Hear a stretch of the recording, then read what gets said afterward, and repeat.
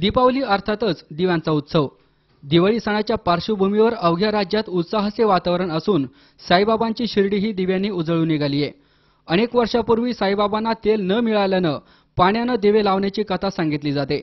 दीपावली मनाये सुहानी मेरे बाबा के हातो में जादू का पाणी या गाजलेल्या चित्रपटाच्या गीतामुळे आजही साईबाबांच्या समाधीनंतरही अनेक वर्षांपासून देशाभरातून हजारो भाविक मंदिर परिसरात दिव्यांचा झगमगाट करून साईबाबांनी सुरू केलेली प्रथा जोपासत असून दीपावलीच्या पार्श्वभूमीवर तीन दिवस दीपोत्सव साजरा केला जात असून शिर्डीसह देशाभरातून आलेले साई भक्त साई मंदिर परिसरातील बागेत दिवे लावून परिसर दिव्यांनी उजळून टाकत असल्याचं चित्र दिसून येत आहे रहती है और हम चाहते हैं कि बाबा का आशीर्वाद हम पर पूरे साल बना रहे।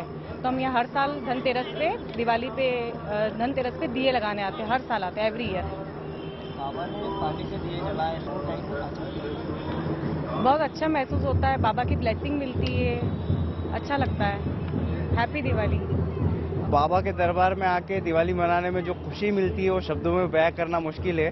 और हमें ऐसा लगता है कि पूरा शिरडी हमारा परिवार है और बाबा के साथ में दिवाली मनाने में जो है वो कहीं और नहीं आता है। तो सबको हमारी तरफ़ से बाबा के दरबार में दिवाली की हार्दिक हार्दिक शुभकामनाएँ। दरम्यान गेल्या अनेक वर्षांपासून ही प्रथा शिर्डीत सुरू असून आपल्यात असणारे दुर्गुण निघून जावो यासाठी भाविक या ठिकाणी येऊन दिवे लावत असल्याची माहिती साई मंदिराचे प्रमुख गुरु बारा जोशी यांनी दिली आहे.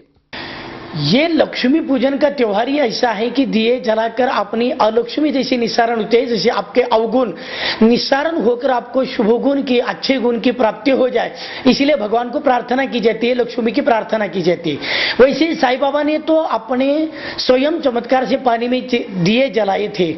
इसके प्रतीकात्मक स्वरूप नाना प्रकार के लोग दिए जलाते हैं। यहाँ आकर कि, बाबा, हम भी ये दिए जलाते, हमारे दुर्गुण नष्ट हो जाए और हमको सद्गुण प्राप्त हो जाए।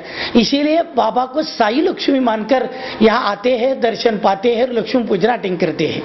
सी चोवीस तासाठी हरीश दिमोटे शिर्डी।